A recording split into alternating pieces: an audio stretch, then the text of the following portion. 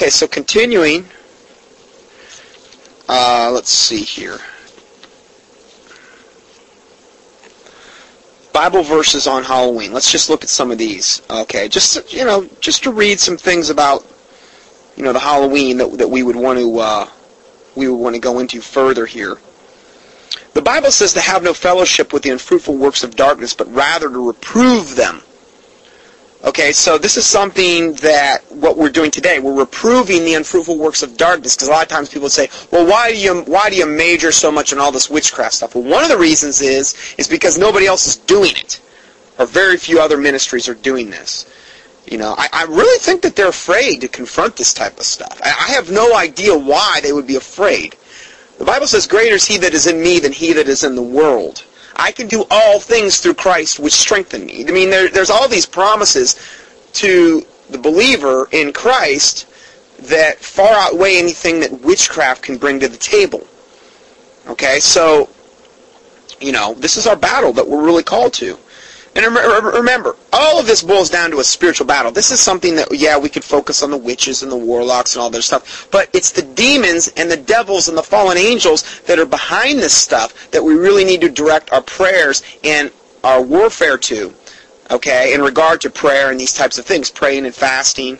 Um, the Bible says that in, in 1 Thessalonians 5.22 to abstain from all appearance of evil. Okay, now when you're participating in Halloween, how do you do that? Let, let, let, me know that one. How do you abstain from all appearance of evil and participate in Halloween? Well, it's just good, innocent fun. Come on now. Why can't you lighten up? You're always throwing a wet blanket on everything there, uh, Scott.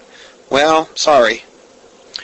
If we go further, Deuteronomy 18, 9 through 12. Now, we, we read this last week. When thou art come into the land which the Lord thy God giveth thee, thou shalt not learn to do after the abominations of those nations. There shall not be found among you anyone that maketh his son or daughter to pass through the fire, or that useth divination, or an observer of times, or an enchanter, or a witch, or a charmer, or a consulter with familiar spirits, or a wizard, or a necromancer, ones that talk to the supposedly the dead. For all the for all that do these things are an abomination of the Lord. Because of these these abominations, the Lord thy God both driveth them out before thee. This scriptural injunction in Deuteronomy 18 strictly forbade the people of Israel from having anything to do with the satanic practices of their Canaanite neighbors. This is a scriptural principle for us to follow. And again, how do you how do you obey? How do you flee all appearance of evil? How do you abstain from all appearance of evil? How do you how do you do all these things and participate in Halloween at the same time? It, it just can't be done. Halloween is for many a crossover involvement in which innocent games can be can lead to serious entanglement with real witches, neo-pagans, new agers, and other occultists. In other words, Halloween is like the ultimate recruitment night for witchcraft. If you think about it, you could have the the the best not the best, but let's say your average Christian family who let's say they try to do their best during the year and they're going to their 501c3 lukewarm church, and they're this and they're that, and they're not getting fed any kind of real truth. And they celebrate Halloween every year. Do you understand that's an open door for Satan to come in and ultimately bring them down a road which leads them to much more heinous things? Okay? This is a doorway that gets open, and it's also a recruitment tool, tool by Satan to draw you into things of the occult and, and to make them look like they're harmless at the same time. Oh, it's just harmless fun. You know, these types of things. A common pastime is to use Ouija boards in an attempt to contact ghosts or spirits that are believed to be roaming about. Now remember what I said. How uh, October 31st is most likely from a spiritual standpoint where the veil between the spirit world is at its thinnest. The occultists just don't celebrate it on this particular day because there's no benefit. There's real reasons they do this stuff. It may be wicked and corrupt and warped reasons, but there's real reasons they do this stuff. So if you use a Ouija board on that night, you're probably going to have the highest success night of the whole year of getting a response. And I'm telling you, on all these shows where they have like these possession shows where like the houses become haunted and, and these, these investigative reports and things like that, so much of the time, if you watch, if you ever do watch any of those shows, many times the house that they're in is fine. They use a Ouija board one night, and from that point forward, it's haunted. Well, why did that happen? Because you opened a door with the Ouija board. Those Ouija boards are from the pit of hell. If you know, if you have any, if you know of anyone that has one, try to get that thing burned as quick as you can. Because they're from the pit of hell. I'm telling you, they're so dangerous. There's many witches that don't even mess with Ouija boards because they know all the bad things that can happen if you use those. So this can lead to serious consequences, including demon possession as well. Demons have a vested interest in Halloween because it supports the occult and it also offers novel and unexpected opportunities to control and influence people. And again, not to mention all the churches profiting selling pumpkins. They're selling their pumpkins so that people can make jack-o'-lanterns. Now, I don't have a problem with pumpkin pie, okay? I got no problem with that. But when it comes to pumpkins, the main reason that they're being sold during this time of year is not for pumpkin pie, but for Halloween, so you can carve these things. What a waste of money, too. Do you know the millions and millions and millions that are made every year on all these occult holidays, Halloween being one of the highest ones, in costumes, costume rentals, you got the you got the uh, jack-o'-lanterns, you got all the candy that's being bought, and all of it's wicked, every bit of it.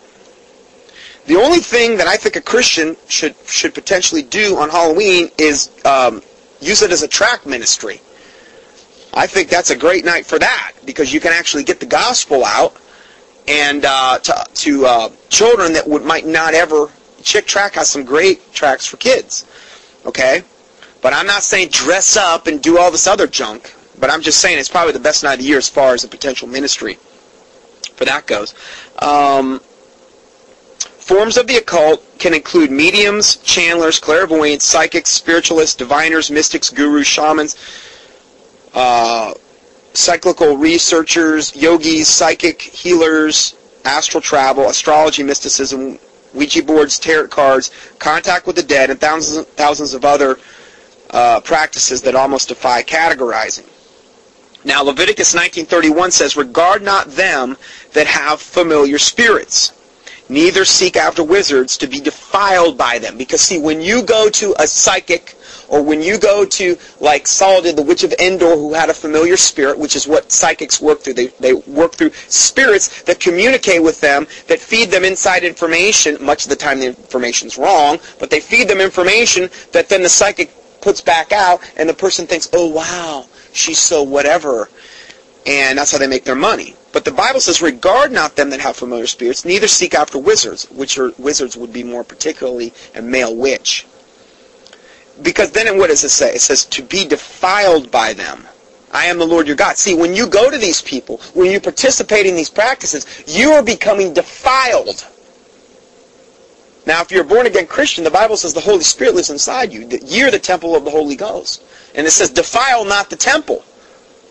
Okay, so you have no right as a Christian to, to, to be messing around with this junk. Acts 19, verses 18 and 19 says, And many that believed came and confessed and showed their deeds. Now these are many people that just got saved out of a pagan lifestyle. Many of them also which used curious arts brought their books together and burned them before all men and they counted the price of them and found that it was 50,000 pieces of silver. Well, these people were participating in some serious witchcraft. And this is why there's hope for witches. Okay? Because here in the Bible, in Acts 19, I mean, a ton of people got saved, but what was the first thing they did? They confessed and they showed their deeds. In other words, they confessed that they were involved in this stuff. They, they, they did this. And then they brought their curious arts. Curious arts is, in that regard, is, is witchcraft whatever books they had, whatever things they had to conjure, do whatever they were going to do, whatever talismans they may have had, or whatever they were using. They brought these things together, and what did they do? Did they throw them in the trash? So they threw them in the trash, and the trashman came and got them, gathered them up, and took them away. No, it says they burned them. I always advise, whenever you have anything that's wicked, to burn it. Don't just throw it in the trash.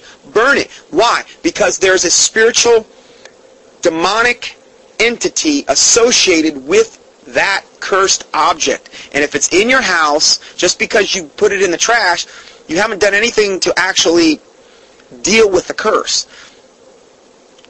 When you burn something like this, there's a spiritual dynamic that takes place that liberates that that that it almost like it's breaking the curse. Okay? Because demons don't like fire. Okay, now I've heard occultists go into this further, uh, where you know they would actually give that reason that they do not like fire. And when you burn something like this, you're actually it's like breaking a curse. Okay, so I'm telling you, burn it if at all possible. Burn it. Um, this little excerpt also says it's my conviction that a true Bible loving Christian should not be part of the evils and the wickedness of satanic things. We must realize that Halloween is the devil's birthday. On that day, Halloween, October 31st, the witches and Satan worshippers uh, offer human sacrifices by slaying a child or whatever other thing they're going to use. I'm not saying they're always going to have a child at their disposal, but I'm telling you that's the highest human sacrifice that there is. Uh, we seek to enlighten people about the satanic origins and practices of Halloween. Now, Aleister Crowley said that many times. Aleister Crowley, who was reputed to be the most wickedest man on earth, he said that the highest, he wrote about this, I believe, in the book of the law that he wrote, Thelema. He said that the highest sacrifice that, that uh, you can uh, you can offer as a Satanist is a uh, small infant boy child. And he bragged about things that he did to little boys that aren't even really appropriate to repeat. But that's how he practiced his religion. And I'm telling you, if you're debased enough and you're far enough into the dark arts, Satan will require the same thing from you as he did from Aleister Crowley. He's no different. He's not special in any way, shape, or form. That's it. So if we go a little bit further, the Bible also says in Psalm 66, verse 18, that if I regard iniquity in my heart, the Lord will not hear me. Well, uh, let me ask you a question is this. If you're a Christian celebrating Halloween, you're regarding iniquity, which is sin, in your heart. Well, do you think it might maybe hinder your prayers if you're like you're celebrating Halloween and going out and doing the pumpkin thing and all this other stuff? Um, this little excerpt is from the Last Trumpet Ministries, and I'm just going to read this. It says, with Halloween, the witches Sabbat of Samhain. Now, he was a former witch, the guy that wrote, writes uh, Last Trumpet. And he's a born-again Christian pastor now. But uh, he says, with Halloween, the witches Sabbat of Samhain now upon us, witchcraft in the churches really becomes visible. The latest craze among nominal Christians is the Jesus O lantern. Oh yeah, they've got the Jesus O lantern now. Okay, like the Jack O lantern the Jesus O lantern, which is a hollowed out pumpkin with a face of Jesus etched into it. Oh yeah. And It is done by taking a picture of a picture of what is supposed to be Jesus. And again, I've done whole teachings where these pictures we see of Jesus are not Jesus. Re- listen to the uh, teaching on uh, Lord Maitreya and the Ascended Masters. Okay, if you want to know more about that and then using the negative of this picture of the supposed Jesus by taping it onto the pumpkin. The white areas are etched into the surface of the pumpkin. The children are also instructed to take the negative and stare at it for 30 seconds and then close their eyes and then look at the white wall and they'll see the face of Jesus on the wall. If that's not mind control, satanic stuff, I don't really know what is. And again, we've seen what the original use the original traditional use of jack-o'-lanterns were, which was the symbol of a damn soul, which is what they put in front of the house, filled with human fat, with a grotesque face carved on it to protect the inhabitants of the house that night if you got the treat from the Druid high priest for giving a human sacrifice that night. That's where we have, and again, if the foundations be destroyed, what can the righteous do? I don't care. You can put any kind of veneer on it that you want. It's wicked. We know that Halloween is strictly witchcraft and has nothing to do with Christianity at all. Why has Dr. James Dobson's Focus on the Family organization recently aired a radio program featuring two women who are promoting Halloween as a Christian holiday? Yeah, good old James Dobson, right down the line, hardcore, preaching against the 501c3 church, King James only, James Dobson. Of course, all that was just a lie that I just said. Just to kind of be sarcastic there a little bit. Yeah, he had two women. Two women. I'm sure they're submissive to their husband, too. Two women who are promoting Halloween as Christian holidays. They're, they're probably pastors. Women pastors. These women are promoting Halloween and All Saints' Day by connecting it to the Christian martyrs. Isn't that what the Catholic Church did back in the Middle Ages? Did, isn't this the whole reason that we did this teaching today? So why did they do it? Well, then we can amalgamate the two. We can kind of connect one to the other because, you know, it was the eve of a holy day. That's what the word Halloween means. It was the eve of All Saints' Day. So we could try to put this Christian pseudo-pagan veneer on it and, and make it all good. And we can have our harvest festivals, and we can sell our pumpkins, and we can do all this wickedness, and we can put some kind of Christian veneer on it. See, Satan's good at what he does. Okay? I mean, I don't want to give more devil more due than the devil deserves, but, you know, he's had thousands of years to hone and perfect his craft. He was he was the most highest, uh, essentially ranking cherub in the uh, in heaven before he fell. So if we go further, it says the, they are saying that Christians should give out the biggest candy bars and best treats and thus reclaim Halloween for Christianity. Reclaim it! I never knew we had it. But you know what? I just learned, I, I just, it just popped in my head. We just all need to lighten up, don't we, Doug? We really do. No, Netta, I think we need to just lighten up. I think we're just fuddy-duddies is all it boils down to. Fuddy-duddies. Yeah, but we need to reclaim it. Well, the thing is, is we never had it. How can you reclaim something you never had? It, it, it shouldn't have ever had anything to do with anything of a Christian nature other than condemning it and reproving it. But we need to reclaim it. Much could be said about this, but suffice it to say that Halloween was invented by witches at the behest of Satan himself. And this is coming from a witch saying this. And the original meaning of a jack-o'-lantern, which was the illuminated which was illuminated with a candle made from human tallow or fat, was to show the cooperation with the Druid, Druid witches in England. So he just confirms that. This is another witch saying this. The, the, oh, and just so you know, the information that I told you about with Halloween was from a high-level Luciferian Satanist, Doc Marquis. And now we've got another witch saying the same thing. And if, if you research the occult, you can get confirmation after confirmation of this. Now, again, if you're going to find out the meaning of Halloween, of a pagan holiday, wouldn't it make sense to like go to pagan sources to find out what the holiday originally meant and what it originally came from? Now, a lot of pagans may deny it. Oh no, this didn't really happen because they don't want to. They, they they don't want to be exposed. But I'm telling you, this is easy to find this information. It's not hard. These witches held a human sacrifice ritual at Stonehenge in England on October 31st involving a huge bone fire, later called a bonfire. Again, doesn't this just confirm what we all just said? From a separate witch who's now a born-again Christian that came out of it. Doc Marquis is also a born-again Christian who was a high-level Luciferian. I think that's a now. If you were going to listen to somebody, I mean, if, if I never had any occult background and I came out and I was saying all this stuff as a born again Christian, well, yeah, I'm not saying that, that you could say I hadn't done my homework. But imagine if you had actually been there and done it and experienced it and lived it. Well, that would have a lot more validity. I think you would put a lot more credence on what they were saying. Well, these are guys that came out of it. Jeremiah 10:2 warns us to not to learn the way of the heathen. Okay, so now let's go further. Now, I just, when I was speaking up at um, Indianapolis Baptist Temple, at a conference in, in Indianapolis, oh, three or four years ago.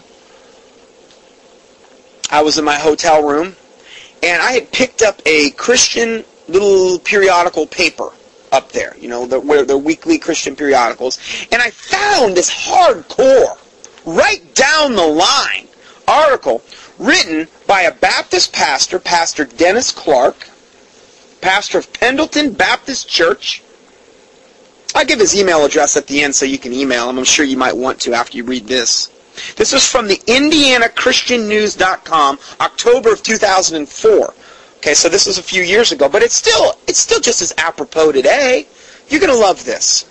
And now I, I saved this for last because isn't that what we should always do? Don't you always save the best for last? Well, that's what we're going to do today. So the Christian, it's, it's entitled The Christian and Halloween by Pastor Dennis Clark. Oh, this gets me really fired up, this one. Now, I'm not going to read this whole thing because it's, it's basically pure abominable drivel. Okay, if I could summarize what we're going to be reading here. But it's really, really super easy to refute. Makes my job pretty simple, especially in light of everything that we just talked about. This pastor, this is like into the thing, and this is under his history of Halloween. Does Halloween's speckled and sometimes sinister past have anything bearing, have any bearing on our decision as Christians to participate in or abstain from its traditional customs? Okay, so this is the question that he's posed. Does its sinister past, should it, you know, should it, should it, uh, hinder us, you know, in any way? He says, the answer is yes and no. Ah, spoken like a true lukewarm Laodicean hireling, wolf in sheep's clothing. The answer is yes and no. If the celebration of Halloween promotes the false ideas rooted in its origin, Christians must take a hands-off position. Well, I wish he would have went with that thought, but no, no, no, no. He's not going to go with that thought. Oh, no. Uh-uh. So let me just read that again. If the celebration of Halloween promotes the, the false ideas rooted in its origin, Christians must take a hands-off position. However, if the contemporary practices do not glorify its history, it is possible to participate without tarnishing the biblical truths Christians hold so dear. Ah, you gotta love this guy. He's right down the line. Wow, you know, Pastor, a lot of verses just popped into my head. What do you do with these verses, Pastor, if I could have this guy right in front of me? What about where it says in the Bible to have no fellowship with the unfruitful works of darkness, but to rather reprove them? What about that little verse? Any little, little problem with what you just said there, Pastor? What about that verse, Pastor, where it says a little leaven leaveneth the whole lump? Leaven is always a type of sin. We're, and then it says we're to purge out the old leaven that the whole lump may be made new. No, we don't want to do that though, do we, Pastor? No, we just kind of want to, you know. What about that verse, Pastor, in 2 Corinthians 6.14, where it says, Be ye not unequally yoked together with unbelievers, for what communion hath righteousness with unrighteousness, and Christ with Belial, which is the devil? Well, when you participate in Halloween, isn't that what you're doing? Aren't you yoking yourself up as a born-again Christian with Belial, the devil? Well, hey, it's his birthday. What about that verse, Pastor? Then it says, For ye are the temple of the Holy Ghost. Huh. Wherefore come out from among them and be separate, saith the Lord, and touch not the unclean thing, and I will receive you, and you will be I will be a father to you, and I and you will be as to me children. So how do we do that and participate in Halloween? What about Proverbs 14:12 and 16:25 where it says there is a way which seemeth right unto a man, but the end thereof are the ways of death. And Jeremiah 17:9, the heart is deceitful above all things and desperately wicked, who can know it? Well, I tell you what, if you're a born again Christian participating in Halloween, your heart has deceived you. And the Bible says in Proverbs 28 verse 26 that he that trusteth in his own heart is a fool. That's what the that's what God thinks about the heart. Okay? And you know what this is? This is an absolute confirmation of Second Thessalonians chapter 2. And I know I've said that. Let's just read that real quick. Okay, so talking about Christ's return here, verse 3, let no man, this is Second Thessalonians chapter 2, verse 3, let no man deceive you by any means, for that day shall not come except there come a falling away first. Jesus Christ returning shall not come before there comes a falling away first, and that man of sin be revealed. It says there's a falling away that's going to come first before Christ comes, and that the man of sin will be revealed. Most likely, the, when the man of sin is going to be revealed is going to be at the start of the tribulation, when he's going to confirm the covenant with Israel for a week, which is seven years, and that's going to start the seven-year year reign of the Antichrist. Okay? So let's go down a little bit further.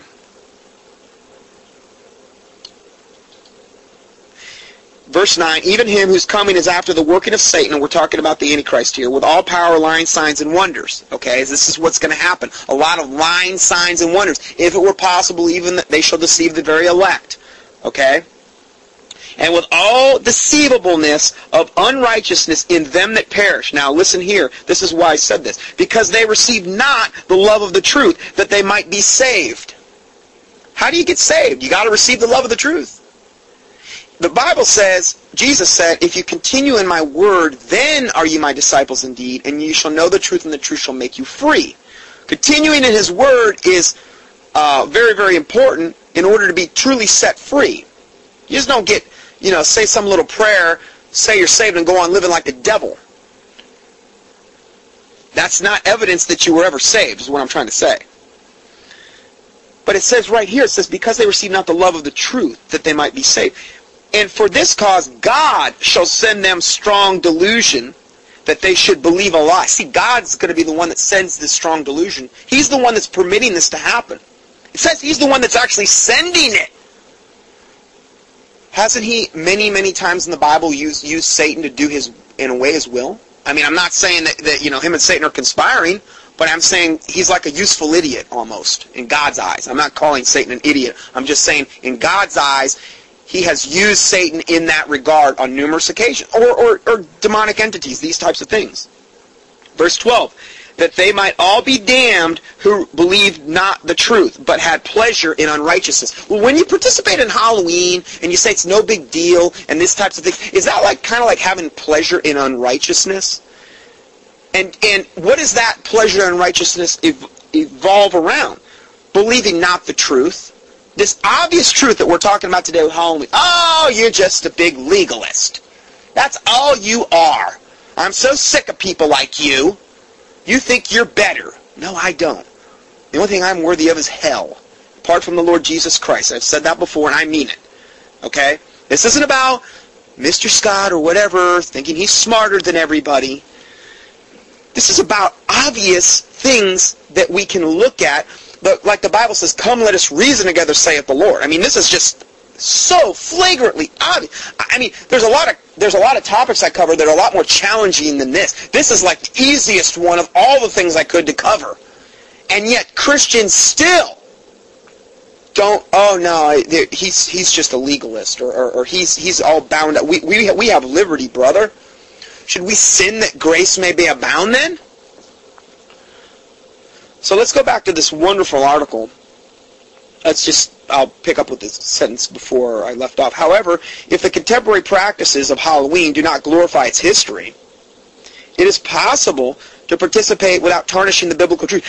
You're telling me then, dressing up in costumes, getting the, getting the jack-o'-lanterns, of course if you're a church you have the Jesus-o'-lantern, um, doing all these things that are associated with wickedness, watching horror movies, seances, and all this other stuff. You're telling me that doesn't glorify Halloween's true history? Of course it does.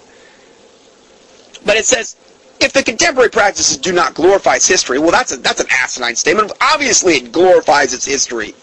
But then it's possible to participate without tarnishing the biblical truths Christians hold so dear. So the real question is, this is from this pastor, is what does Halloween mean today? Is it celebrate is it a celebration of Satan and demons? Does it desensitize us? Making us more susceptible to the occult? Certainly not. Oh, hold on, hold on. I, I, I skipped the question. So let's let's go through all these questions again. Does what is Halloween today? Is it a celebration of Satan and his demons? Question one. Does it desensitize us, making us more susceptible to the occult? Question number two. Does Halloween have a cultish grip on America? Question number three. Certainly not, is what this good, right down the line Baptist preacher says. Certainly not. It is generally viewed as a day for children to have fun and merchants to make a profit. Oh, that sounds really biblical. Fun and making a profit. Wow, all in the name of Satan. Isn't this great? let's go further. So in his last, he, he ends this, and I'm not going to read this whole thing, but he ends it by saying, why discuss Halloween and Christians? Why discuss it? But he's going to go ahead and throw us a bone and, and, and give us his take on everything. Why discuss Halloween and Christians? So what? What's so important about a Christian's view of Halloween?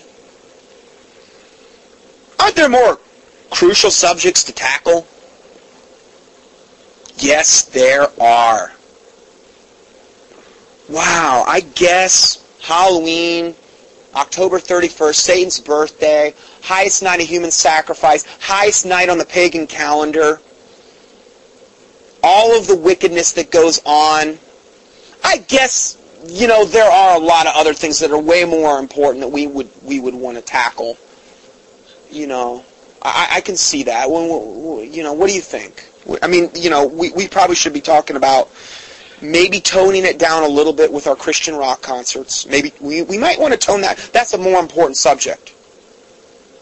You know, or, or something like that. But I, I think, you know, I, I really think this pastor's swaying me at this point. I, I, really, I don't know about you guys, but I, I'm getting, I'm getting swayed. I'm getting, he's so good at what he does. So he says, yes, there are. There's more important subjects. But before dismissing this topic completely, oh, well, I'm glad he's going to give us this little morsel. But before dismissing this topic completely, consider one possible danger, just a possible one. It's not a real valid maybe, it's possible. Consider this one possible danger facing Christians who adamantly oppose the Halloween customs. Hmm, those bad Christians who adamantly oppose this. They're legalists. Such convictions run a risk of detracting both parents and children from the real evil of the satanic world system. Well, oh, you know, I'm totally swayed now. Can you believe this? You know, I just, I really just pray that these lukewarm, pathetic, spineless, sold out hirelings, that the fear of God would rest on them like a thick cloud, that they be exposed, that all men would see and fear and declare the work of God, like Psalm 64 talks about. That they would be judged in this life, that there might be a hope for them to even get saved.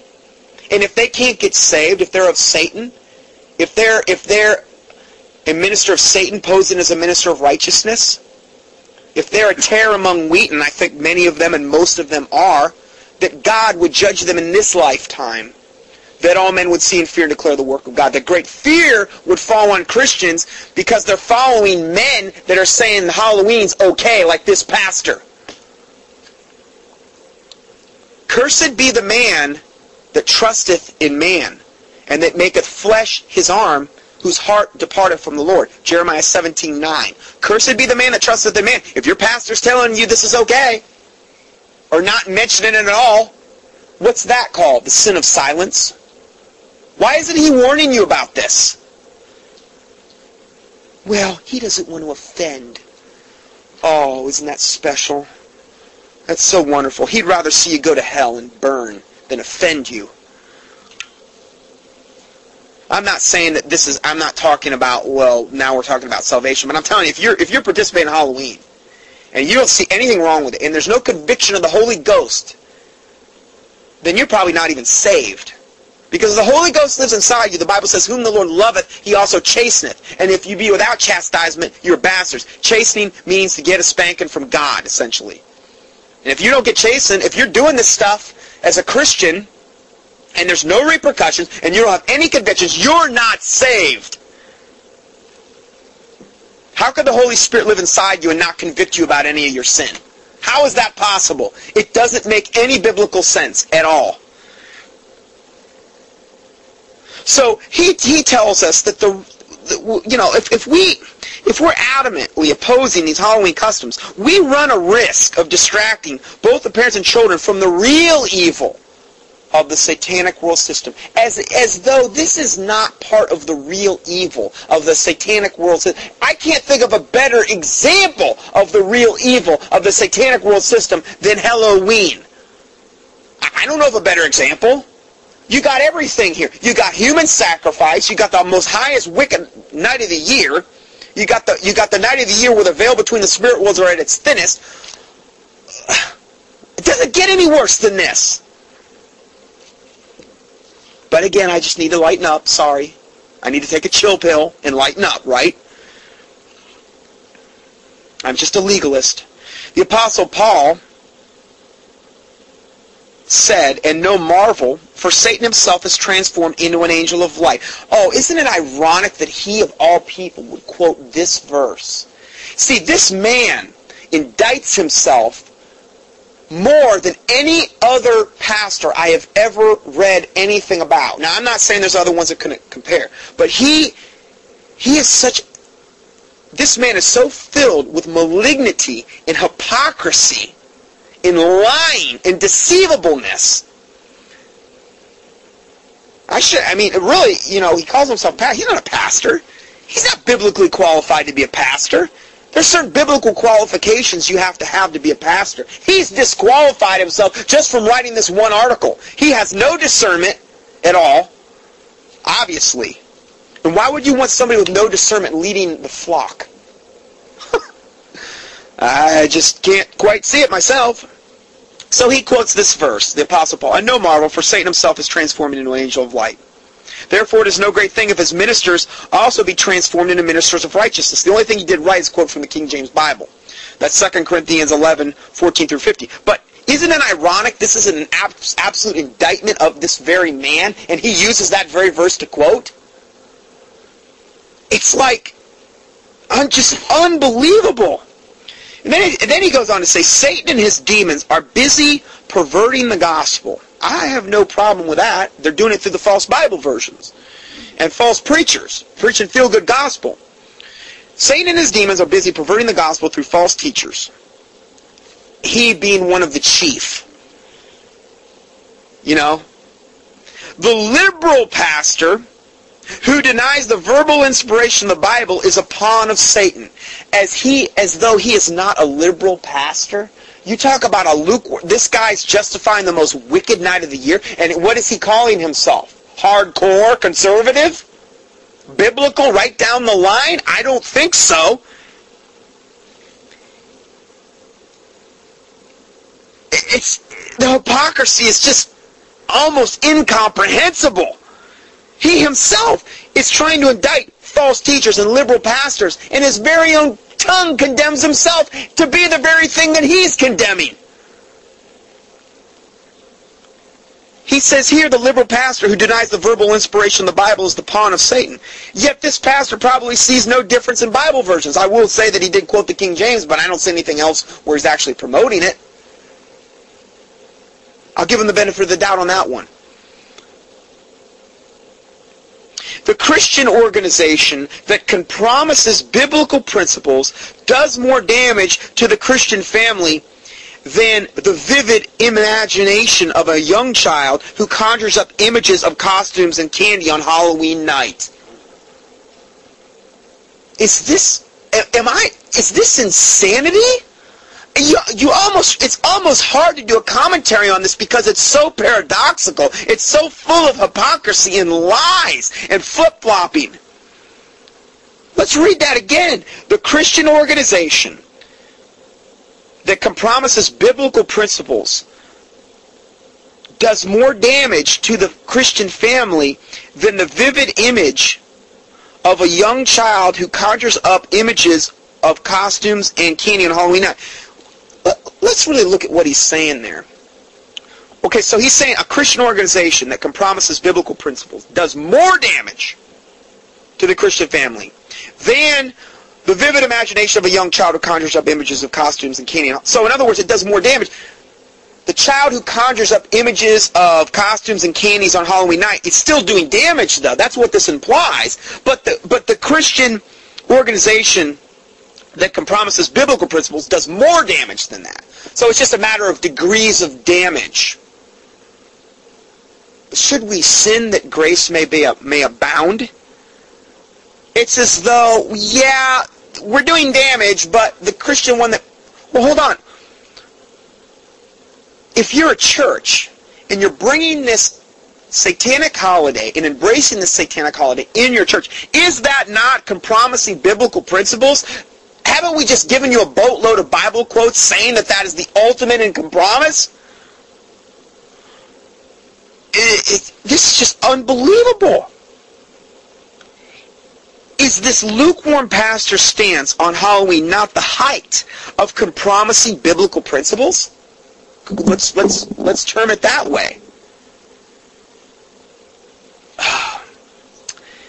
Then he goes on to say, our adversary is not interested in looking like an elderly green-skinned woman with a pointed hat riding on a kitchen broom. Our, yeah, he, you know, he, again, his logic just prevails over me. Rather, he desires to mimic a teacher of righteousness by which he deceives an unregenerate world, condemning them to their own lost condition.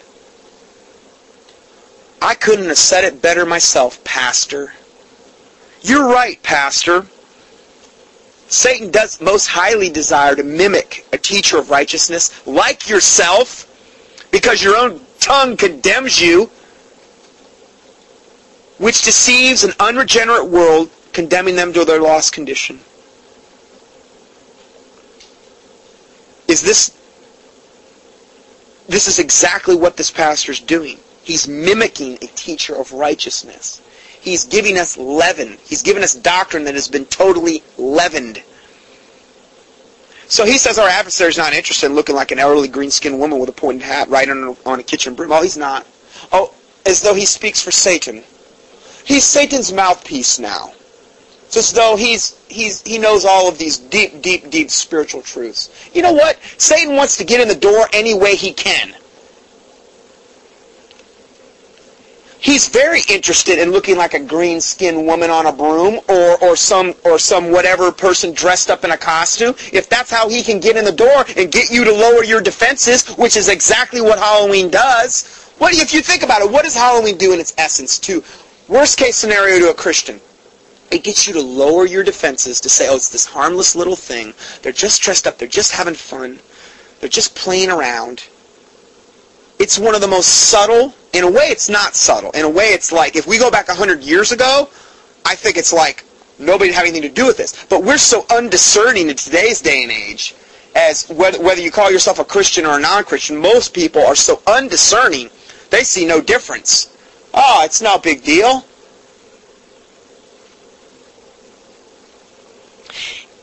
By this man writing this, it's, it's as if this man is almost unknowingly condemning himself with his, oh, with his own words. He's condemning himself with his own words. I mean, every sentence I read here is a new level of hypocrisy. Let's go further. As Christians, we must maintain a biblical perspective on evil. I agree, Pastor. I totally agree. In fact, that's why I'm ripping apart this pathetic lukewarm commentary. You are my example of Christians not maintaining a biblical, biblical perspective on evil. You are the quintessential essence of a Christian not maintaining any kind of biblical standard on evil. You are the quintessential essence of a Christian lowering his guard to Satan and calling evil good and good evil. The Bible says, Woe unto them that call evil good and good evil. That put sweet for bitter and bitter for sweet. That put light for darkness and darkness for light. Isn't that what he's doing? As a Christian, we must maintain a biblical perspective on evil and how it operates in our universe. It is easy to spend our energies fighting the wrong enemy, though. Oh, evidently this is nothing to be concerned about, this whole thing that we just talked about today on Halloween. And again, like I said, he just continues to indict himself and to condemn himself with his own mouth, with his own tongue. The Bible says, by your words you will be justified, and by your words you're also going to be condemned. Well, he's doing a boatload to condemn himself. If he makes it to the judgment seat of Christ, I don't think he's on his way to the judgment seat of Christ. I think he's on his way to the great white throne judgment. I don't think this man's saved. I think he's a wolf in sheep's clothing, a hireling.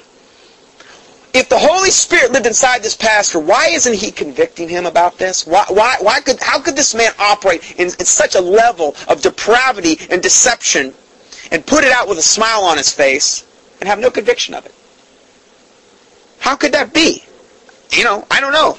I hope he is saved, but I tell you what, he needs to get right with the Lord. The Bible also says, by their fruit you shall know them. What, have you seen some fruit from this pastor today, from his mouth? fruit of his words? This is, I read this because this is a great example of the hypocrisy, the lukewarmness that's going on in the modern day church today. And it, it's good to arm yourself with this type of knowledge. So he, he concludes here, thank God. He concludes by saying, what should a Christian parent do then? There is a biblical liberty in this matter. oh yeah. Should we sin that grace may abound? That's that's a pretty much that uh use not your liberty, the Bible says, for an occasion to the flesh. Well, if Halloween isn't an occasion to the flesh, I don't know really what is. I guess I just am a fuddy-duddy because I don't know what is if Halloween's not. It's the ultimate occasion to the flesh. But this pastor says there is a biblical liberty in this matter. Some will feel more comfortable backing away from Halloween traditions. Ah, see, it's all about how you feel, your heart, like what we talked about before. Others will enter into them, these Halloween activities, as a family activity. Both need to be tolerant of one another. We need to be tolerant. This guy, this guy should should be like the chaplain for the United Nations. He'd make a great chaplain for the United Nations. He could be tolerant of everybody. Now listen how he ends it. This is a real hallmark moment here coming up. Hallmark moment coming up right now. Tearjerker. I'm warning you. Don't get all teary-eyed on me. As for me, this is this pastor, this stalwart of the faith.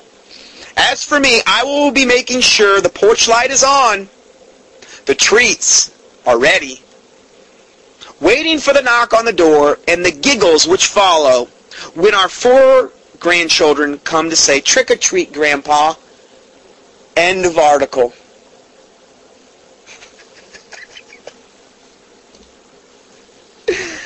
yeah, this guy's name's Dennis Clark, pastor of Pendleton Baptist Church. Email address dkclark7 D is in dog. K.